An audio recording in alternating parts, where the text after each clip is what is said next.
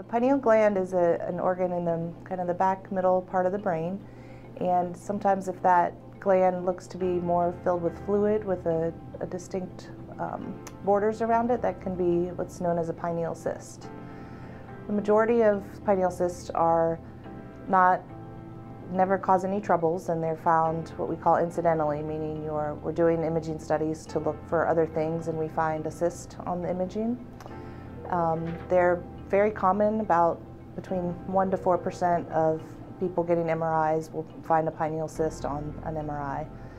When they start becoming a problem is when they are um, kind of atypical in appearance and they have compression of surrounding brain structures and they're larger than typically seen on an incidentally found pineal cyst and they're accompanied with symptoms going on with it. They can be challenging because sometimes the symptoms are vague. So, you know, headache, nausea, vomiting. It's often rare when it's a cyst to get hydrocephalus because the cyst component doesn't tend to block off fluid pathway. It just kind of distorts some of the MRI appearances. Um, and sometimes you can have eye difficulty, um, eye motion abnormalities.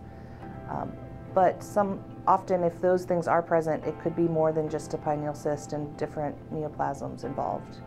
It's so easy to get MRIs these days. It's no radiation to kids. We can even do what we call fast MRIs, where the kids don't have to be put to sleep. So if you are having a kid with kind of vague neurologic symptoms, it's really easy to get a fast MRI, see if there's anything, not just having the cyst in mind, and then if the child needs to be sedated for more involved imaging, we can always do that.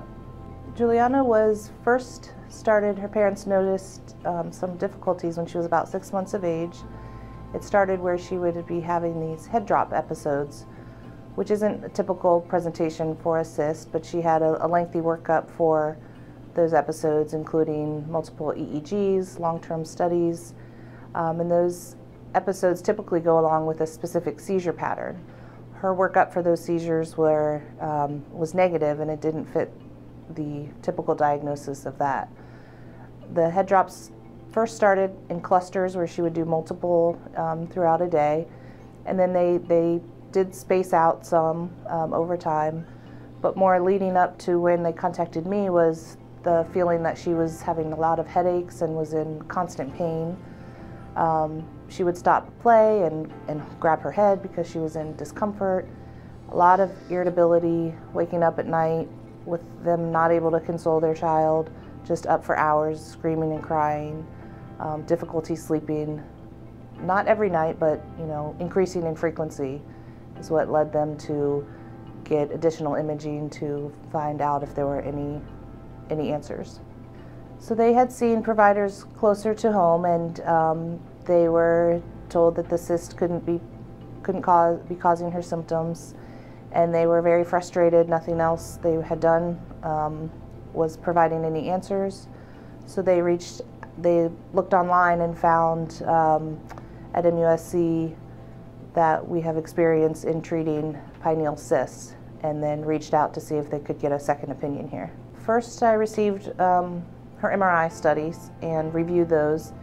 And then um, after talking with Juliana's parents and hearing her symptoms and reading the extensive workup that she's had and all the um, negative test results they had to get any answers, um, I thought everything else has been exhausted. I think the cyst is likely playing a role here in her, in her condition. It's hard to tell in, in kids. Sometimes pain and irritability is a marker of headaches, and um, that's how she can express herself at that age.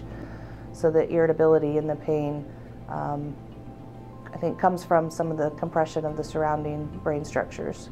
So these are slow growing, so they are not a, a neoplasm, they're not a, a, cancer, but they are an abnormal entity. Um, so it likely over time would have could have increased in size and caused worsening symptoms. So it's, it's a challenging location to get to.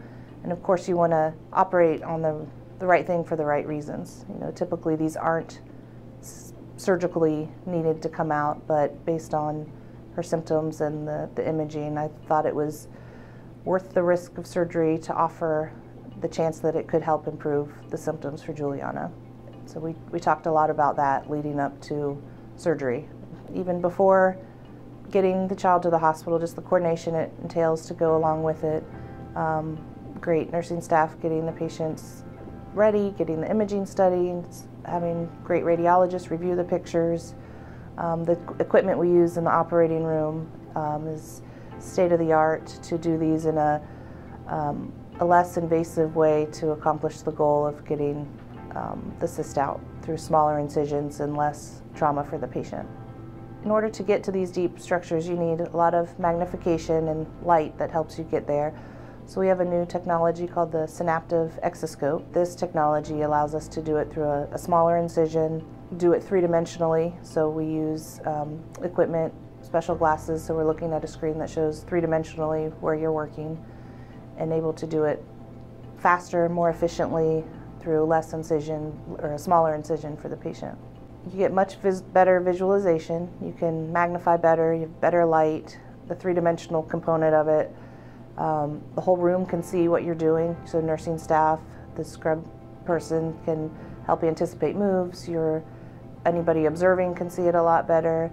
Um, ergonomically, from the surgeon, you're just you're in a neutral position and you're looking ahead at the screen to, to accomplish this, the surgery. Whereas uh, with other microscopes, you have to kind of twerk your neck in different positions and it's less comfortable. So you could do a long operation and feel totally at ease with your body at the end of the case. So we have special um, pediatric head holding fixation systems to get the patient in the ideal position. Um, make just about maybe a three or four centimeter incision.